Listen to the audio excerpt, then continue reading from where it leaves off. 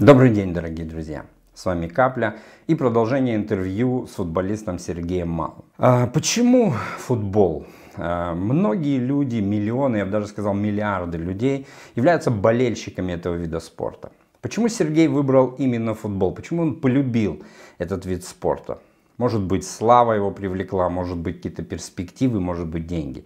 Давайте мы его послушаем. Ну, если честно, то уже, наверное, больше в сознательном возрасте, это после 20 лет, потому что до этого ты просто занимаешься и ты физически слабый, потому что ты еще юноша, и иногда очень сильно нагрузки, они как бы внушают страх, потому что, ну, работать нагруженным, наверное, не сильно хочется, и иногда вот эти нагрузки, они пугают, тебе казалось это все слишком тяжелым. А ну просто после того, как э, я уже вырос, стал сознательно понимать, и я стал получать удовольствие.